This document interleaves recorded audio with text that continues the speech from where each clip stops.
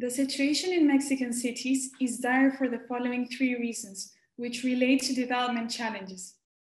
In cities like Mexico City, the capital, and the second largest city in Latin America, three aspects exacerbate the current COVID pandemic crisis. The high concentration of poverty in some areas of the city, also known as socio-spatial segregation, the size of the informal economy, which is linked to a lack of mechanisms to provide social benefits, and the vast amount of underreported cases of COVID 19 that misinform and create a lack of awareness in areas of society. The coronavirus outbreak in cities such as Mexico City has been concentrated in low income settlements, such as the municipality of Iztapalapa, the most densely populated area of Mexico City, with more than 2 million inhabitants. The situation in Iztapalapa has been reported repeatedly in the media. This is an example of how a high spatial concentration of marginalization translates in the pandemic hitting harder on these areas they become hotspots immediately because of its high population density, lack of services, and access to healthcare.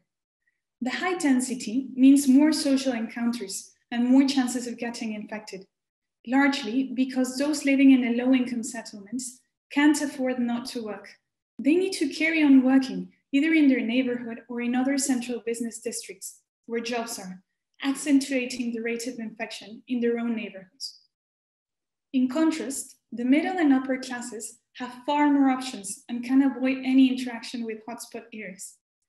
Instead of a widespread awareness of the severe situation and a respect of social distancing measures, citizens choose only to avoid those areas where the majority of cases are concentrated. The underreporting of cases also has the effect of lowering the levels of awareness of the overall population, People in Mexico City go out and about without much worry of the consequences, whilst lower classes continue working out of need.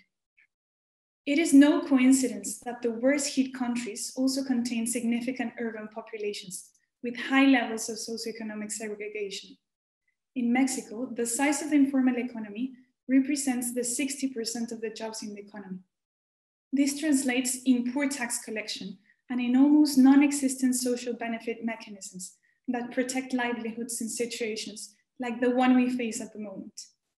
All this linked with the government that for the last two years has drastically cut public expenditure. The health system and other public institutions were already suffering before the pandemic. Mexico needs to act fast by raising awareness and supporting low income populations.